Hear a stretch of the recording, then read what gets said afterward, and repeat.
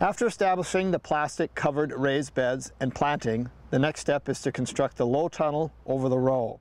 Before starting construction, make sure to have on hand all the materials you'll need. The first thing you need to do is cut 12 inch lengths of black polyethylene tubing. These will be used as stoppers on your 10 foot steel rod hoops. You will need two stoppers per rod. Once you have these stoppers cut, drill a 5 16 inch hole through the center of each stopper.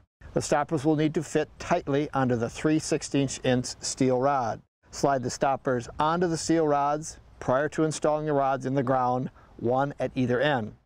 Once you have placed your stoppers, insert the rods at an angle into the ground. Push one end of the rod about two feet into the soil so it angles into and beneath the raised bed. Bend the other end of the rod over the row and insert it into the soil in the same manner until the top of the hoop is two foot above the raised bed.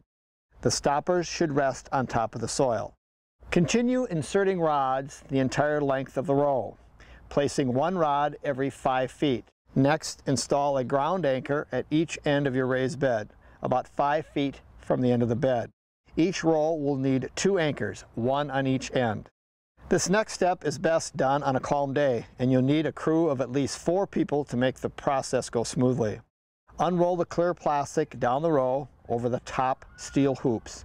With two or more people working on each side of the row, unfold the plastic completely so it drapes over the hoops down to the soil, making sure to keep it all in place as you move down the row. Gather the plastic at the end of the bed and hold tightly while securely tying with the plastic rope. Fold up the end of the plastic back onto itself and continue securing with rope. Then tie the end of that rope to a spring tensioner. There should be some length of rope between the plastic and the tensioner for this to work properly. While the plastic is held down, fasten the spring tensioner to the ground anchor with rope. Leave a few feet of rope between the tensioner and the ground anchor. Repeat this process on the end of the raised bed, pulling the plastic very taut. Now that your tunnel is secured to the ground anchors, it's time to roll up the excess plastic on the sides. The best method for rolling up the plastic is to have two people on each side rolling up one five foot section at a time. Roll the plastic up towards the inside of the tunnel until it is approximately 20 inches off the ground. Rolling it toward the inside prevents rainwater from filling up the roll. To hold this position, slide the black stopper up on the steel rod to hold the plastic in place. Using black electrical tape, secure the stopper to the rod by wrapping the tape above, below, and around the stopper several times. Next, you need to secure your tunnel with twine. This makes the entire tunnel structure sturdier. Cut a length of twine approximately 9 foot long. Position the center of the piece of twine at a stopper. Loop the twine around the stopper twice with equal lengths of twine in both hands.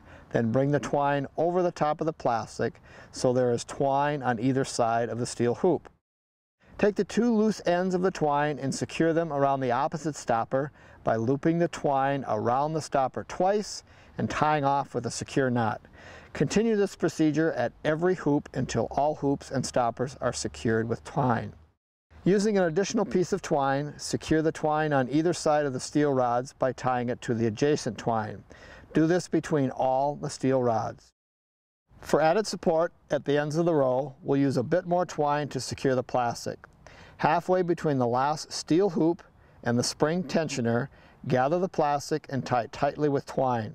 Use another piece of twine to connect this to the first length of twine that crosses over the top of the tunnel.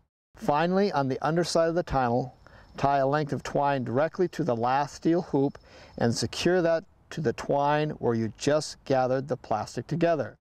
Do this on both ends and your low tunnel is complete.